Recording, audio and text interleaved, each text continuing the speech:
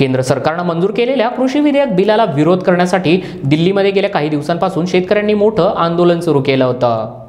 मात्र केंद्र सरकार शेतकऱ्यांच्या या आंदोलनाला जुमानत नसल्यानं शेतकऱ्यांच्या वतीनं भारत बंद पुकारण्यात आला होता. तो यशस्वी झालेला पाहायला मिळत आहे.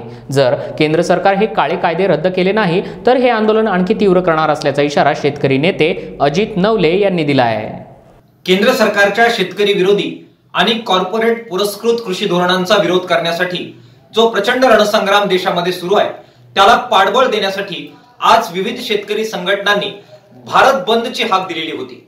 आज हा भारत बंद प्रचंड ताकदीने यशस्वी झाला.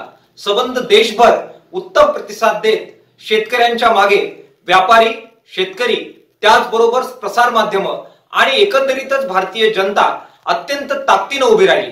महाराष्ट्रात सुद्धा या बंदला अत्यंत उत्स्फूर्त आणि भक्कम अशा प्रकारचा पाठिंबा मिळाला. ज्यांनी ज्यांनी ह्या सर्व बंदला पाठिंबा दिला ते सगळे शेतकरी व्यापारी प्रसार माध्यम वेगवेगळे राजकीय पक्ष वेगवेगळ्या सर्व संघटना यांचं किसान सभेच्या वतीनं मी मनपूर्वक आभार मानतो त्यांचं अभिनंदन करतो.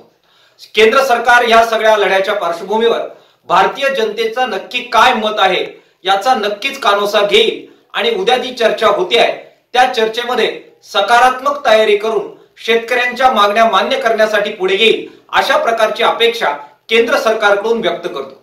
केंद्र सरकारने या सगळ्या लढ्याच्या पार्श्वभूमीवर जर अजूनही आपला हट्ट सोडला नाही कॉर्पोरेट धार्जीने आपल्या धोरणांचा रुख हा बदलला नाही तर अत्यंत ताकदीनं या पुढेही हा लढा न्यावा लागेल आणि त्यानंतर मात्र शेतकऱ्यांना आणि शेतकरी संघटनांना संयम ठेवणं मुश्किल होईल अशा प्रकारचा इशारा सुद्धा या निमित्तानं आम्ही केंद्र सरकारला देतो.